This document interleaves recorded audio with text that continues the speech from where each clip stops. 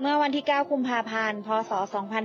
2564 นายมนัสพงศ์พรหมพิสิทธิพงศ์ปลัดเทศบาล ปฏิบัติหน้าที่นายกเทศมนตรีเมืองชนบุรี ได้ให้การต้อนรับและให้การสัมภาษณ์ ซึ่งมีอาจารย์สิริการทองพูล อาจารย์โครงการจัดตั้งวิทยาเขตสุพรรณบุรี มหาวิทยาลัยเกษตรศาสตร์ และนายภูลศักดิ์ทิศิริ นักวิชาการศึกษาชำนาญการ หัวหน้าฝ่ายอาคารสถานที่และยานพาหนะ มาขอสัมภาษณ์พร้อมทั้งขอข้อมูล และประสานความร่วมมือในการดำเนินการ โครงการยกระดับเศรษฐกิจและสังคม รายตำบล แบบบูรณาการ 1ตำบล 1 มหาวิทยาลัย ณห้องทำงานปลัดเทศบาลเมืองชลบุรี